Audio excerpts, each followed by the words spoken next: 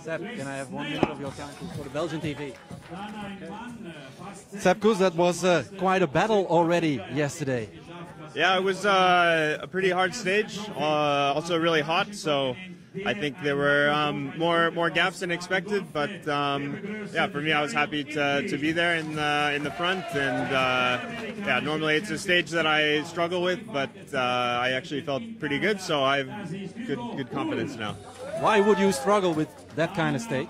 Uh, it's it's hard when it's it's the first stage and it's really explosive. Uh, sometimes it takes me a while to get in the rhythm, but uh, yeah, it's, it's, nice to already be feeling good. Today's final part of the stage promises to be uh, explosive too. Yeah, also hard. I think every every stage is going to be pretty tough, so uh, always have to be sharp and ready. But uh, yeah, looking forward to it. Did you have the chance yesterday night to rewatch the display of force of your teammates in Dauphiné? Yeah, yeah, it was great. It was uh, impressive to watch and uh, yeah, exciting. So uh, it'll be it'll be nice to be part of that. In the Tour de France, of course, because that is where you, why you are here to be, yeah, in the selection for Tour de France. Yeah, yeah, of course. Uh, that's that's always the big goal of the year, and uh, uh, kind of where you want your, your form to be, be going for July. Thanks. All the best. Thanks. Yeah. Good to see you.